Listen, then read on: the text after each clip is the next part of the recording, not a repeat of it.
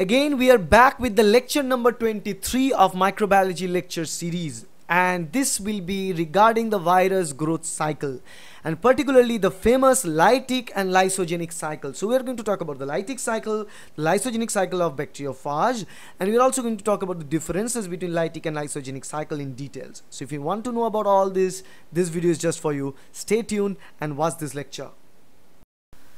Now the big question is how viruses uh, replicate inside the host cell. We know viruses are obligate intracellular parasite. They always hijack the host cell machinery and can use that. They can use the host cell's own uh, enzymes for the for uh, the process of protein synthesis and also for its own DNA replication or RNA replication. So very limited number of gene encode proteins for capsid formation, viral nucleic acid and replication and movement of virus in and out of the cell. So these are the three major components that is required by the virus. So ultimately once they hijack the host cell machinery then they first replicate their genetic component and they can also use the enzymes of hosts to help in producing capsid proteins. And once the DNA is or RNA whatever genetic material it is whenever the genetic material is ready the capsomeres are ready the capsomeres start arranging themselves surrounding uh, the genetic material inside. And once the process is done then they simply produces enzymes that initiate the process of I mean uh, they simply guide the enzymes of host to initiate the process of viral particle release. And generally the viruses are much clever in terms of activi activation inside the host. You know once uh, the viruses can only go outside of the host while they build huge number of viruses inside the host. Not like one virus is built and the virus one particle is clipped out. You know inside the host cell when tons of virus particles are built with their nucleic acid inside then only they burst that host cell open and all their components will be released outside. Okay. Now viruses can cause severe damages to the host cell. The namingly three damages. One some animal viruses enter the host cell and permanently alter its genetic material that results in cancer or we call it transformation of those normal cell into a cancerous cell and these are generally known as virus induced cancer. Okay? HSV is an example for that. Okay? And uh, HPV can be also a part of that. Okay?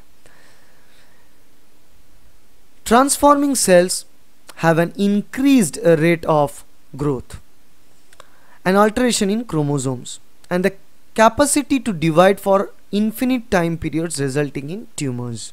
So again somehow the viruses can alter how the specific gene is read and as they alter the pattern of gene reading that may lead to the production of altered proteins that may lead to formation of cancerous cell. And third thing, mammalian viruses capable of initiating tumors and they are known as oncoviruses for example, papillomavirus. Actually, it's not HSV, it's mostly HPV, human papillomavirus, associated with cervical cancer and genital warts. And there are Epstein-Barr virus, EBV, associated with Burkitt's lymphoma. In both the occasion, Burkitt's lymphoma as well as the papillomavirus causing cervical cancer, they alter uh, the genetic reading frame and the profile as a result of which as a result of which a normal cell is turned into a cancerous cell.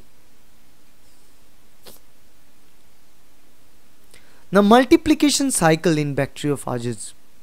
How exactly the bacteriophage involved in multiplication? Bacteriophages are viruses that infect bacteria. So most widely studied bacteriophage are those one which in, in infect Escherichia coli okay? And multiplication goes through similar stages like as an animal virus. Only the nucleic acid enters the cytoplasm. Uncoating is not necessary in this occasion. So it's like a injection. Only the nucleic acid is ingested inside the bacteria like inside the host in this case E. coli and then uh, that genetic material hijack the host cell machinery and can finally cause uh, the burst open of E. coli and, and releasing all the viral components, bacteriophage components outside. So they can be involved in two different type of cycle, lytic cycle and lysogenic cycle. Lytic cycle is the cycle where after production of sufficient bacteriophage, this bacteriophage will crack open the host cell like E. coli and goes outside to infect another healthy host. While in lysogenic cycle, the genetic component of the bacteriophage is incorporated and recombined with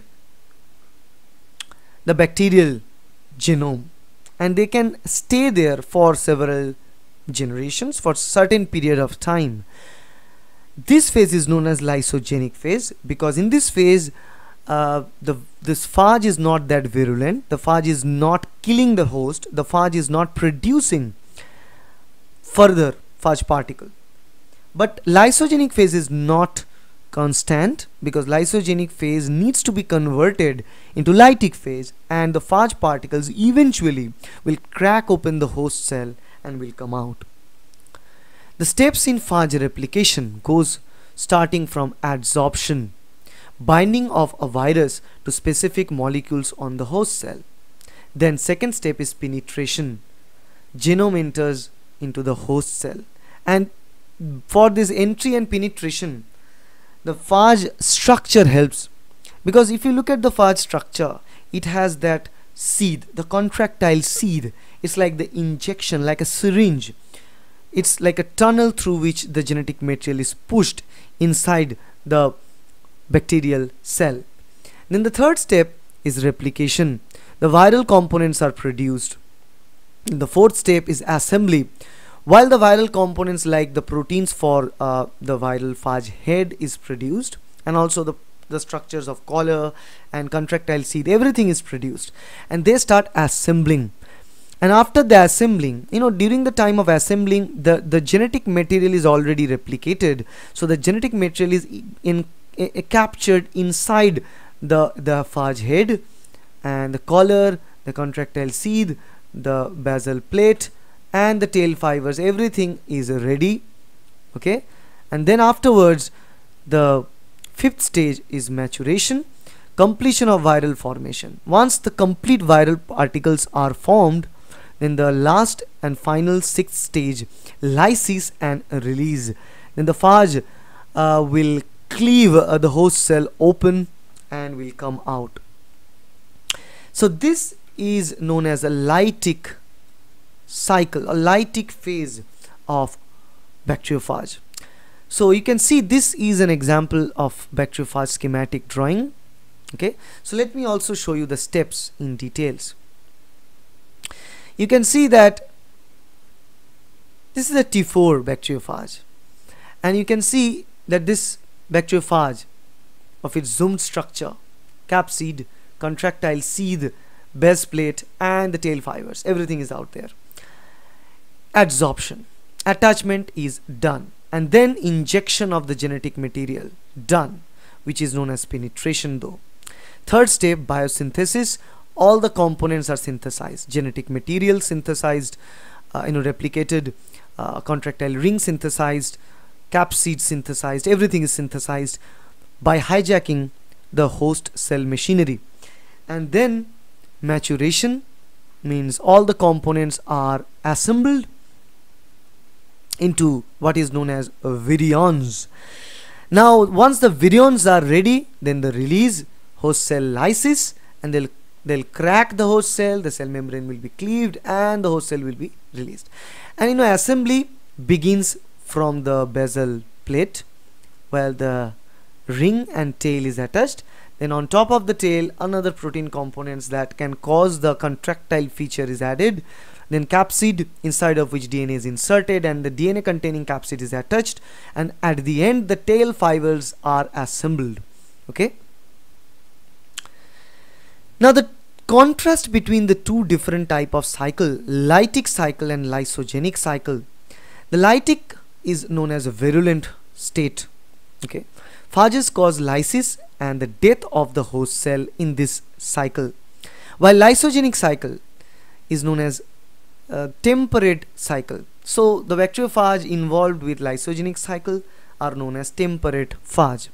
The phage DNA incorporated into host DNA, we call it prophage. So instead of injecting the phage DNA inside the host, you know, they will in this case also inject the DNA inside the host, but instead of hijacking the host cell machinery and producing the phage particles, this DNA or genetic material gets incorporated with the bacterial chromosome itself. So let's assume that this is a bacterial chromosome, this is the phage phage or phage DNA and this is the bacterial cell inside of which we have this bacterial chromosome and phage DNA so this comp composition of bacterial chromosome and phage DNA combined are known as prophage okay? So then it can remain as a prophage for long period of time. When the environment is not in favor of lytic phase they follow this lysogenic or temperate cycle but when the environment is in the favor of lysis, then there is a phage conversion. In the phage conversion, this temperate phage convert from lysogenic phase into a lytic phase. And there is this hugely complicated complex molecular mechanism regulates the process of lytic lysogenic conversion animation of which will be discussed later. I'll show you an animation regarding the process in details. But once the conversion is mediated, then those phage particles again are produced and then they will lyse the cell open, they will come out. Okay, and then this is associated with the term specialized transduction. Okay, so we'll talk about what is specialized transduction in bacterial genetics. We know that if the virus particle or phage particle follows lytic cycle. We call it generalized transduction. But if it follows uh, lysogenic cycle we call it specialized transduction. And why we are calling it differently? I'll show you that again in the bacterial genetics class. So in this picture you can clearly see the lytic as well as lysogenic cycle in two different sites.